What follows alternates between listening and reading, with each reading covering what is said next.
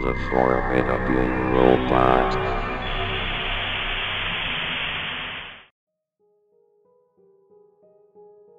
Everyone has been to the weird part of YouTube.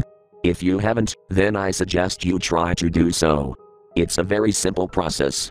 In fact, to make it even easier, I will lay this out in step by step form. Step 1 Important, you find any video you want. Absolutely anything you want. A cat video, a music video, anything. Something from Japan will work best. Step 2 Click on the strangest related video.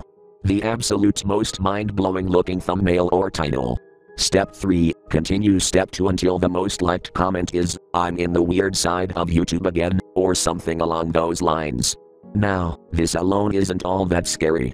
It's mostly just funny. You can laugh at failed ads or absurd stuff from different cultures. Sometimes it gets scarier. A dancing girl with no arms or legs. Someone with a shitload of tattoos eating glass.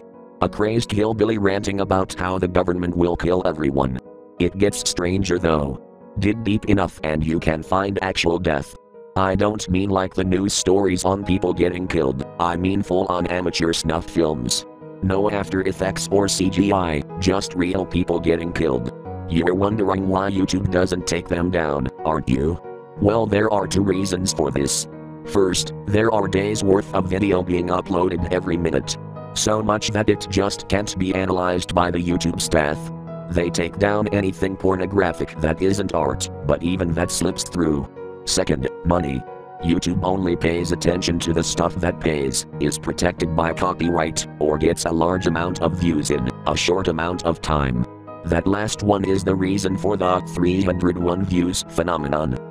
Due to these reasons, there are plenty of people who can easily upload almost unnoticed videos. Some of them truly are unnoticed with only two or three views. There are a ton of these amateur snuff films that just require a while of searching. Just try for a few hours. Just be warned, you might not hate what you see. You might just want to see more. Or, you might just want to try making one of these videos. After all, they have to come from somewhere.